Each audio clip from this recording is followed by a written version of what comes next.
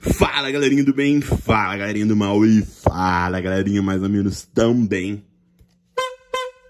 Aqui é o Charizard Gilson para mais um maravilhoso vídeo de unboxing para vocês. E hoje o unboxing tá quente, está recheado.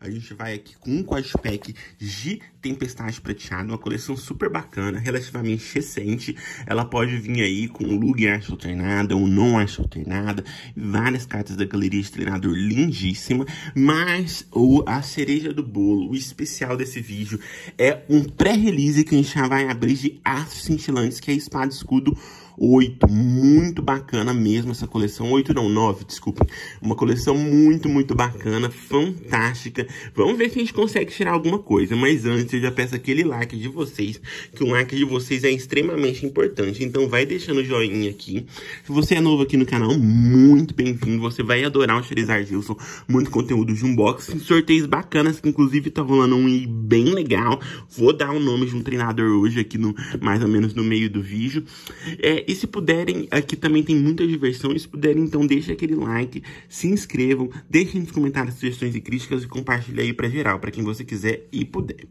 Então bora lá, sem grandes mais delongas, bora pro unboxing. Não vai ser um unboxing tão demorado, embora seja de um item difícil de conseguir, que é Astros Cintilantes, mas acaba que só tem 8 boosters aqui. Então vai ser relativamente rápido, que a gente vai abrir 13 boosters contando o Quadpack. Eu vou começar com o Quadpack, que embora seja bem bacana também, seja o a mais do vídeo, né? Não é um algo difícil de encontrar, nem raro, mas é algo bem divertido de abrir. Aqui a gente tem falando da coleção, Aventuras Argentes Descobertas Deslumbrantes, falando do Lupia Viastro, do Alola Viastro, Vulpix de Alola Viastro. Bora ver o que a gente consegue, hein? Bora ver, torçam aí pro Charizard Gilson. Queria tirar pelo menos uma carta via aqui no... Nesse quad pack. Bora ver o que a gente consegue. Opa, que a gente já tem uma moeda que eu adoro. Olha que moeda linda do Intem, gente. É linda essa moeda do Intem. Realmente é uma moeda sensacional. É uma moeda super colecionável. Eu tô gostando que os codepacks estão variando bastante nas moedas. Então tá dando pra aumentar bastante a coleção de moedas. Temos essa promo do Togetic, que eu também gosto muito. Quando você ganha esse Pokémon da sua mão para evoluir um de seus Pokémons durante seu turno, você poderá curar 30 pontos de dano do seu Pokémon ativo. É uma carta que é bem interessante também. Acho que não vai jogar tanto, mas é uma carta lindona. Aqui a gente tem um código para vocês. E aqui a gente tem quatro boosters. Temos aqui um do Lugia. Temos um de cada, né? Basicamente, temos um do Lugia, temos um do Regidrago, um do Regilec e um do Vulpix de Alula. Olha que bacana. Eu vou separar o do Lugia aqui como vem coisa boa. E bora começar aqui com o Regilec. Bora ver o que a gente consegue aqui, só pra vocês verem a coleção de 2022. Aqui no fundo fala a mesma coisa que fala ali no Quadpack. Bora ver o que a gente consegue. Será que a gente consegue uma via aqui? Seria bom, hein? Aqui a gente já começa com um drip, que é do Tomokazu Komiya. A gente percebe que é uma arte do Tomokazu Komiya porque tem um fundo bem diferente. O Pokémon também tá numa posição bem diferente, mas diferentemente do Shinji Kanda, que tem uma pegada de arte semelhante ao Tomokazu Komiya, o Tomokazu Komiya tem traços bem suaves, então a gente sabe que é uma carta feita por ele aí, a arte. Aqui a gente tem um Fanfi, um Flashling aí do Shibuzaki também é outra artista bem bacana. Outra que parece bastante Tomokazu Komiya, mas você percebe que o traço é bem mais forte. Continua tendo o Pokémon uma posição diferente, o fundo bem descontraído, diferente, diferentão também, o, Blue, o fundo, mas o traço é bem forte, então é do Shinji Kanda. Gosto bastante também da arte do Shinji Kanda. Um Honchkrow e aqui a gente tem apenas um Dratini, que é uma reversa holográfica comum, mas é uma reversa holográfica comum bem bonita, hein? Lógico pra vocês que nem Pikachu reversa holográfica comum, é só uma reversa holográfica comum, mas é bem bonita. Bora aqui pro Regidrago, ver o que a gente consegue. Aqui a gente tem um Murkrow. Linda arte, temos um Beldon da Salsal, gosto bastante das artes da Salsal.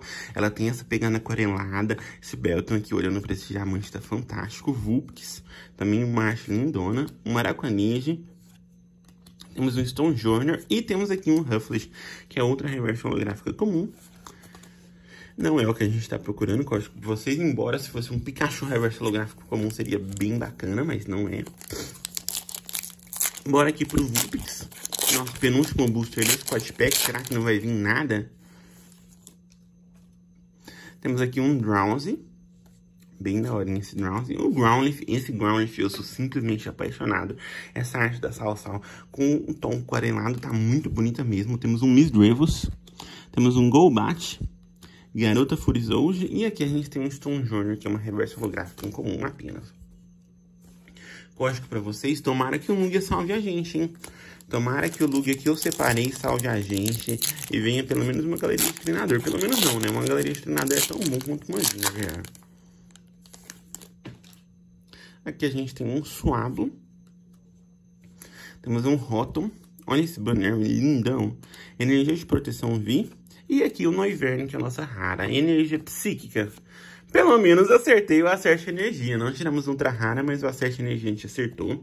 Bora lá pro treinador misterioso de hoje. O treinador misterioso de hoje, anotem aí, é o Brock. Podem me chamar de Jane Warner, mas eu realmente gosto do Brock. Eu sei que ele é das primeiras gerações, mas eu acho que ele foi muito emblemático no anime, assim como o Ash. É, e o Brock vai ser um dos treinadores aí que é para anotar nessa listinha para depois me passar lá no direct do Instagram para eu poder te passar o número para você poder estar tá participando do sorteio. Então, anotem aí o nome do Brock. E bora aqui para estrela do vídeo, que é esse pré-release de Astros Cintilantes. Então, contém 40 cartas prontas para jogar, né? incluindo umas 4 cartas logradas profissionais ou, ou pro, promocionais, outro pacote de boosters de estampas ilustradas, um guia com esticas de construção e uma carta codificada para Pokémon Estampas Ilustradas Live. Bora ver o que a gente consegue, hein? Será que a gente consegue algo bom? Tomara que sim. Torçam aí, torçam aí, torçam aí. Bora ver, bora lá, bora lá, bora lá. Lembrando que tem chance de Charizard Alta Alternada, Arceus Arte Alternada, tem chance de Rainbow. É, eu não acho que... Rainbow eu já vi saindo em pré-release. Agora, é... Arte Alternada eu nunca vi ninguém tirando em pré-release, então nem sei se é possível. Mas tomara que seja, tomara que a gente tira, né? Vamos ser os primeiros a acontecer isso. Aqui a gente já tem a caixinha, que já é bem bonita, aqui com Arceus e com Charizard para você guardar suas cartas. E aqui a gente tem um Bibarel Olha que da hora esse bibarel, gente. Lindão essa arte do bibarel, lindão mesmo. Olha que holográfico muito, muito top. Gosto muito mesmo, muito, muito mesmo. Realmente eu gosto dessa carta promo. É, como eu já tenho ela, eu vou deixar selado. É, e vamos para os boosters propriamente dito. Eu já tenho todas as promocionais já cintilantes, Lucario, Bibarel, todas mesmo. Gosto muito do Bibarel, essa arte do Bibarel é lindíssima. É, a habilidade dele é muito boa, então pode ver jogo sim. É, mas eu só não vou abrir porque o, o, resto das cartas que vem aí é basicamente comum e comum, que vocês conhecem bastante, porque a gente abriu bastante astros cintilantes e espada escudo aqui na no nosso canal, então por isso que eu não vou é, tomar tanto tempo de vocês mostrando carta por carta ali do baralhinho, tá? Mas realmente eu gostei de ter saído esse bibarel. Mas como eu sempre mostro, eu vou mostrar aqui pra vocês dicas de construção do baralho. Quem quiser dar uma pausada aí pra Heleno, fiquem à vontade, tá? E aqui só pra vocês verem todas as cartas que a gente pode sair nessa coleções. Lembrando que essa coleção também tem uma galeria de treinador lindíssima, com chance aí de Umbreon, de Sylveon, de Mimikyu. Bora ver. Vamos ver se a gente consegue pelo menos aí uma galeria de treinador boa, uma fuacha, que a gente tem um, dois, três, quatro, cinco, seis, sete, oito. Olha só, temos um booster do Charizard, então obviamente a gente vai separar ele, tá? Temos três boosters do Arceus, temos dois do Shaymin, do, três do Shaymin também, e temos, na verdade, três do Shaymin, dois do Arceus e dois do Winscott. Bora abrir do jeito que tá aqui aqui mesmo, só separando o Charizard. Aqui é uma coleção de 2022, tá? Não é uma coleção muito antiga não, mas é no começo de 2022. As constelações alimentam um show de força. Lindona essa coleção. Bora ver o que a gente consegue, pelo menos uma outra rara aqui. Aqui a gente começa com um Gollet. Faz tempo que eu não abro astros cintilantes, hein? Tô gostando. Aqui já tô gostando. Temos um Gollet, temos aqui um Cashform. Temos um Grimer um Claydol, um Executor, e aqui a gente tem apenas uma premonição da Cerola, reversa holográfica em comum. Tem ela full arte da galeria de treinador também, código para vocês. É uma carta lindíssima mesmo, já tô feliz. Ela reversa holográfica, é bacana também. Bora aqui pro Shiny. Já pensou se sai qualquer Charizard aqui? Ia ser da hora, hein? Temos aqui um Style, um Spiritomb, um Clink, outra bola, joga bastante, hein? Um Tropius, e aqui a gente tem uma reversa holográfica rara, que é o Electivire. Então, estamos indo bem nas reversas holográficas. Temos a promoção da Cerola, temos código aí para vocês, temos o Electivire raro. Vamos aqui para um booster que eu gosto bastante, que é um booster do Arceus. Bora ver o que a gente consegue. Opa, e aqui veio uma carta V, hein? O que, que será que é, hein, gente? O que, que será que é? Eu acho que é o próprio... Eu só, eu só vi a beiradinha e eu acho que é o Arceus. Mas será que é? Não sei, vamos ver. Aqui a gente tem um Soque, que é uma rara... Uma rara não, uma comum do Kanda. Fundo diferente. É, Pokémon numa posição diferente, mas traço bem marcado. Temos um Cherubim. Temos aqui um Riolo um Crowdout. E temos aqui um Arceus, é o Arceus sim. Grande Arceus, energia lutadora, energia de grama.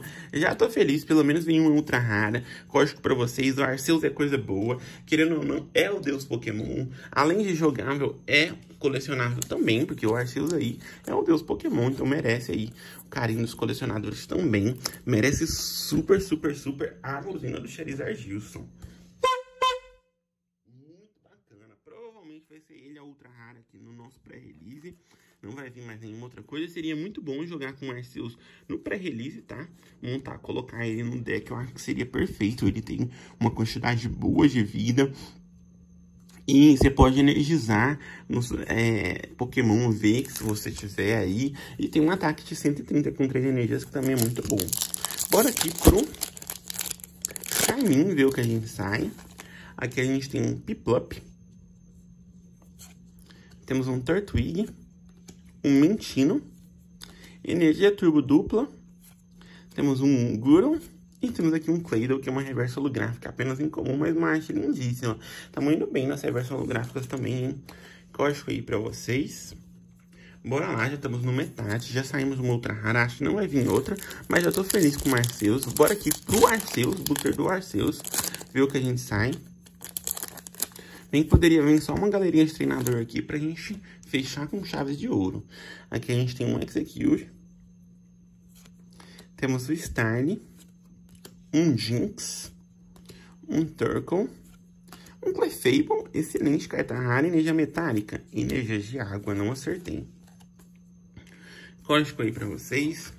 Mais três boosters. Temos agora o booster do um Scott. Será que a gente dá sorte? Vem mais alguma coisa, né? Você... Booster do Scott geralmente me dá sorte. Vamos ver se é o caso. Aqui a gente tem um Buizel. Temos um Gibble da Salsão. Arte aquarelada lindíssima. Tão suave. Realmente é muito bacana esse...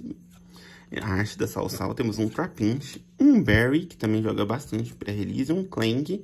E temos aqui um Ateador de Fogo, que é apenas uma reversa holográfica incomum. Aí já não é tão bom, né? O Ateador de Fogo Reverso Holográfico, na minha opinião, né? Não é tão colecionável, não. Bora aqui pro Charmin, nosso penúltimo booster, em busca aí de mais uma ultra rara. Opa! E veio coisa aqui sim, pelo menos duas vezes aqui a gente vai ter. Que coisa boa, hein? Aqui a gente tem um Corfish. Temos um Spiritome, o que, que, será que é? Temos um Chimeco, será que é a Galeria de Treinador? Conjunto de água fresca e um Flygon V. Outra casa lindíssima, energia elétrica, energia lutadora. Meio que combinou com o Flygon, que ele já foi Pokémon lutador em alguns casos. Código para vocês, vieram duas vindas pré-release, nada mal mesmo. Tudo bem que foram só duas V regular, não foi galeria de treinador, não foi forte, mas eu tô satisfeitíssimo com essas duas V do Flygon e do Arceus, merece super a buzina do Charizard Gilson. Claro que a gente tem o nosso último booster aqui do Charizard, Pode vir coisa boa, sim. Mas acho difícil já tendo vindo duas vi regular. Mas mesmo assim deu pra divertir bastante, gente. Bastante mesmo. Bora ver o que a gente consegue aqui. Aqui a gente tem um Milcery, um Jinx, um Impimp, um Morguin. E aqui a gente tem nossa rara, que é um Armadan de massinha ou de biscuit, como vocês preferirem. Da Yukamori com esse acabamento fenomenal. Energia um, de fogo energia noturna, não acertei, não tem problema, código para vocês. Foi esse nosso loot, não foi um pré-release ruim, tá? Lembrando que pré-release pode ser que nem venha ultra rara, a gente conseguiu duas ultra raras aqui, o Arceus V e o Flygon V. Espero que vocês tenham gostado, se gostaram deixa um like, se inscreva e até a próxima, galera.